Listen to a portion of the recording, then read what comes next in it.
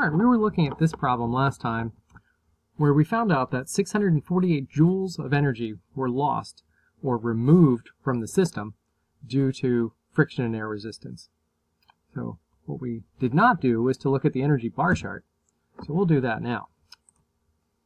You can see the energy bar chart from part A where there was no work done by non-conservative forces, but now we're going to fill it in for the case where we did have the non-conservative forces. So the starting condi conditions are the same. We're still going from A to C. A is our initial, and point C is our final.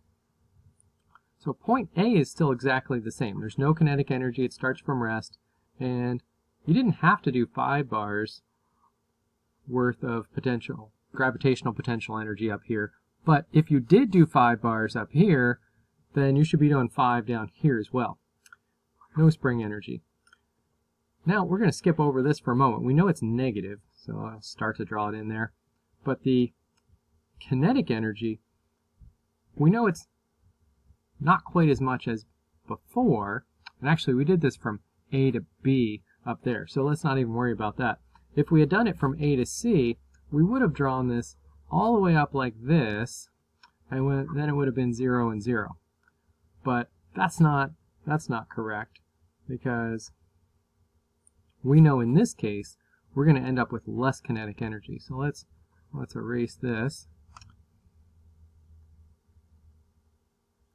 And we'll come in. We know that the kinetic energy is less. It's not a lot less. It's 24 meters per second instead of 26 point something meters per second. So let's just go with 4 here.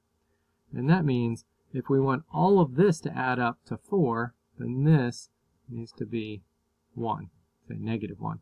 So these, these numbers don't have units. They're just relative amounts so that we can get a visual representation of what's going on. Okay, so we had a certain amount of gravitational potential energy. Then we had less, we, we were removing some energy from the system so that at the end there's less energy left in the system. That other energy got removed, got dissipated as thermal energy.